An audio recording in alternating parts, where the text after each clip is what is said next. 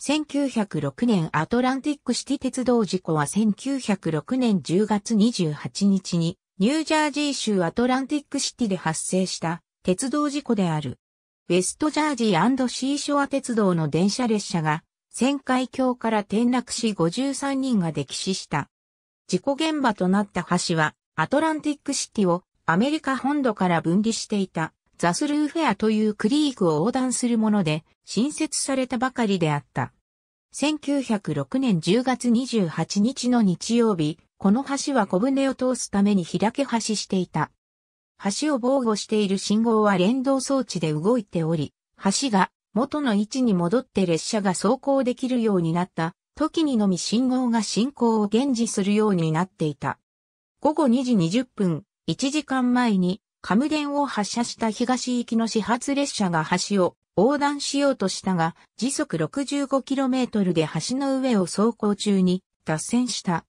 数秒間枕木に沿って揺れながら進んだ後、前方の2両が15フィート下の水中に沈んだ。ドアが閉まり貫通扉が閉められていたため、乗客には脱出する機会はほとんどなかった。後続車両は少しの間橋の上部構造からぶら下がっていたが、やがて水中に滑り落ちた。三両目にいた、聖同士は列車が落ちる前に急いで後部ドアを開け、多くの乗客を逃げられるようにしたが、前の二両からは一人か二人ほどしか逃げえなかった。前方車両の乗客は窓を破壊し、彼ら自身だけでなく他の人々も救助しようと数回車内に戻った。ボートと橋から降ろされるロープ両方からの救助活動がすぐに指示されたのは後部の車両であった。5000人から1万人程度の群衆が30分の間に集まった。彼らの多くは知人や友人が電車で来るのを待ち迎えてた人々であり、終点から非常に近くで起こった事故であった。幸い14人の乗客が前の停車駅のプレザントビルで列車を降りていたが、乗っていた53人が事故で水死した。電化された後の橋の動作は、わずか1ヶ月前にテストされたばかりだった。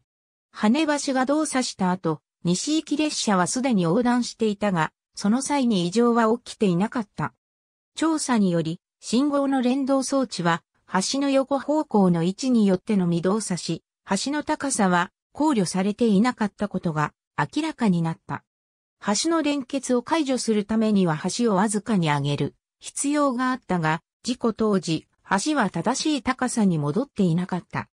西行き列車はその重量が橋を押し下げたため、通過することができたが、同じことが東行き列車には起こらず、新品の車両のうち2両が完全に9メートルの水中に沈むことになった。この事故の結果として、ペンシルバニア鉄道で働いていたパブリックリレーションズの専門家である IB リーが事故現場で会社を説得してジャーナリストに声明を発表させたことにより最初のプレスリリースとみなされるものが作成された。ニューヨークタイムズは1906年10月30日にその声明を原文のまま印刷した。ありがとうございます。